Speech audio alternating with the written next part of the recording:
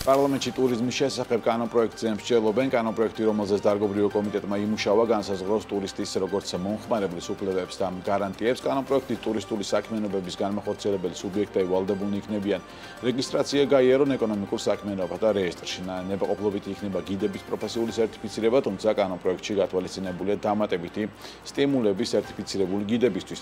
განხილვებს კერძო სექტორის წარმომადგენლების ესწრებიან, რა შენიშვნები და მოსაზრებები აქვთ ბიზნეს წარმომადგენლებს ანუკა ჯოხა ხალხზე ჩაგვაყენებს საქმის კურსი, რომელიც საკანონმდებლო ორგანოში მუშაობს.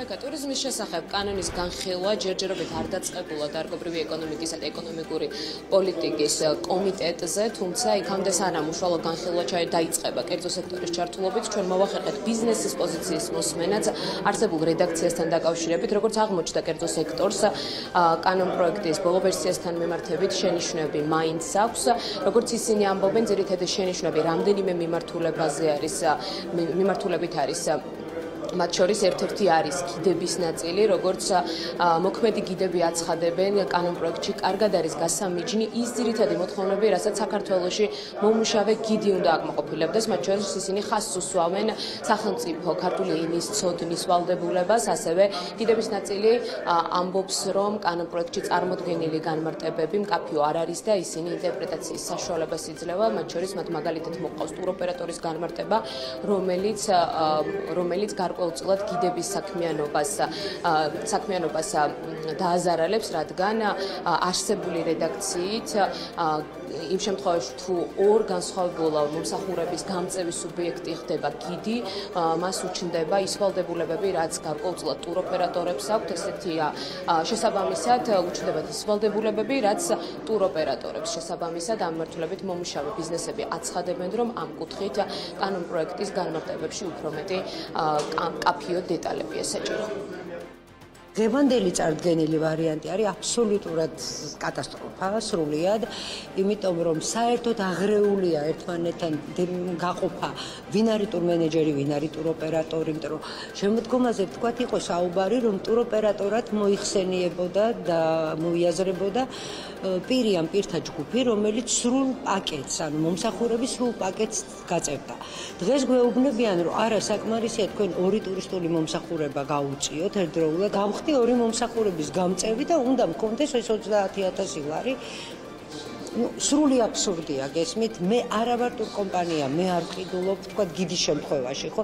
მე არ ვყიდულობ ბილეთს მე არ ვუჯავშნი სასტუმროს. და უშუალოდ თუ სიტყვაზე რუსეთში ან თურქეთში აქვს აღებული სერტიფიკატი იმათი სერტიფიკატი აქ უნდა ჭრიდეს თუ არა ანუ საერთაშორისო სერტიფიკატი არის ერთი, მაგრამ არის საქართველოს სერტიფიკატი. შენ საქართველოს ტერიტორიაზე შეგიძლია თუ არა ტურის ჩატარება. იცი თუ არა ადგილობრივი კოლორიტი, კულტურა, ტრადიციები და სამზარეულო. სიტყვაზე, აი უბრალოდ ამას ვაკონკრეტებთ რა.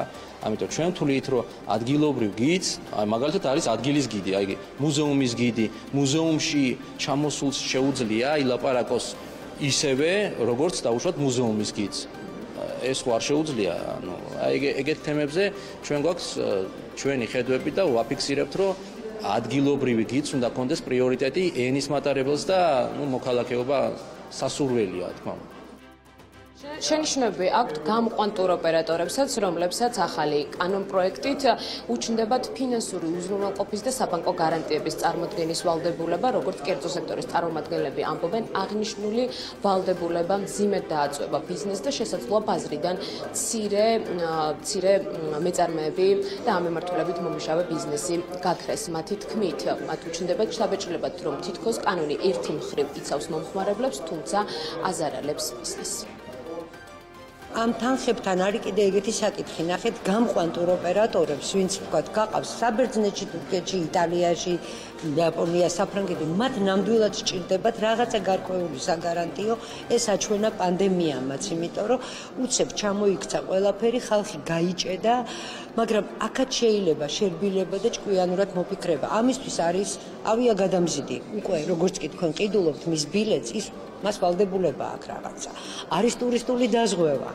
ანუ ბევრი ფრაგმენტი შეიძლება ჩაირთოს და არ უნდა გახდეს არც ის გამყვანი ტურ კომპანია ყველაფერზე ამ ქვეყანაზე პასუხისგებელი. ნებისმიერ კანონს უნდა კონდეს ორივე მხრიდან ურთიერთვალდებულებები და კანონმა კი არ უნდა დამავალდებულოს, უნდა მოაწესრიგოს ერთი სუბიექტის მეორე სუბიექტთან ურთიერთობა კანონის ფარგლებში. ეს მოწესრიგება არ ხდება. ხდება დავალდებულებები და ჯარიმების უზარმაზარი სია მე მგონი საჯარიმო ქვეყანად გადავიქეცით. არის საუბარი იგივე 30000 საგარანტიო თანხაზე, რომელზეც შეუყვან ტუროპერატორებს აქვთ იმის შიში, რომ ეს ძალიან შეაფერხებს, ასე ვთქვათ, ცირე და პროგრესული და ალტერნატიული ტუროპერატორების, ასე ვთქვათ, ქმედი უნარიანობას. არის რაღაცებს ძალიან ზოგადი ფორმულირებები, რომელიც ძალიან დიდ ინტერპრეტაციის საშუალებას იძლევა.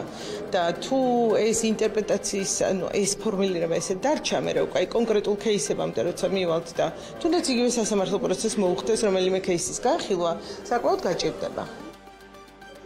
კითხობია ეკოტურიზმის ნაწილშიც, როგორც დარგობრივი ასოციაციები აცხადებენ, კანონპროექტში ეკოტურიზმის განმარტება ზოგადია, რაც დარგის განვითარებას აფერხებს, უფრო მეტიც ისინი ამბობენ, რომ მის გამო რომ განმარტება კანონპროექტში ზოგადია, მათ პრობლემები ექნებათ საბანკო სექტორთან ურთიერთობის პროცესშიც.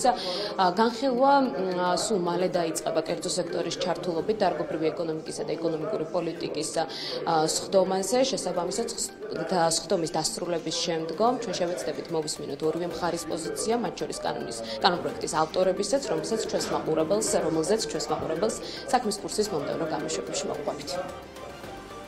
ალბობა ეს ანუკა ჯოხაძე იყო.